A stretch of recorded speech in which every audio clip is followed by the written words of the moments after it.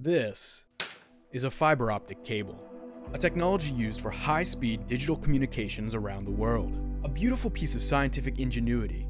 Its ability to transfer information is quite possibly the reason you are able to watch this video right now. Since it is used for such high tech purposes, it might be surprising to learn that it already existed long ago in a rock. Introducing Ulexite, or more commonly called the TV stone. Ulexite was discovered in the 1800s by George Ludwig Ulex, which is where it got its name. But it wasn't until 1956 that its special optical property was observed.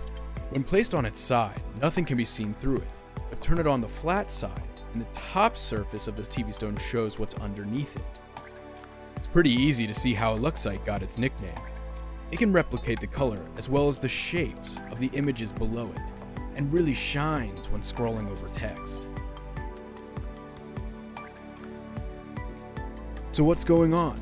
How can a rock have fiber optic qualities?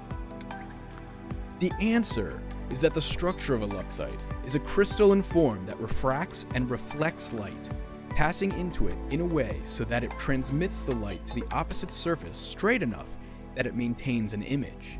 To better understand, let's look at fiber optics in general. Fiber optics act like a tube for light. It's typically made of glass or plastic, with a material surrounding it.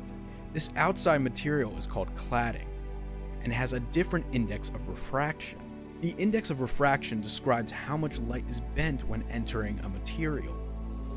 When light enters and hits the point where the glass or plastic meets the cladding, it reflects back due to the difference of the refractive index and continues moving along the cable. This is called total internal reflection. This makes the plastic or glass act as a guide material directing the light down the tube until it reaches the other end. With the TV stone, instead of glass or plastic, the crystal structure forms a series of small fiber-like strands, each transmitting the light from where its opposite end is located.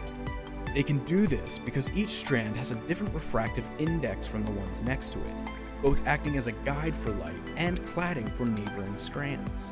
The result is a top surface with a somewhat blurry but visible replicated image of the material below it. Pretty cool, huh?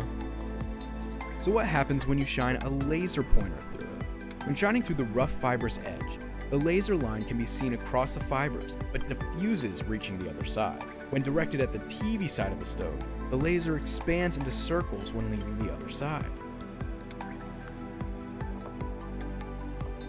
Not much happens when using a black light, however when directed at the flat TV side, the fibrous edge lights up and can clearly be seen.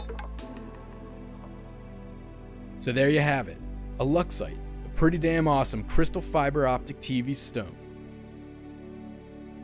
I hope this video has been enlightening, and I hope to see you soon. Until next time.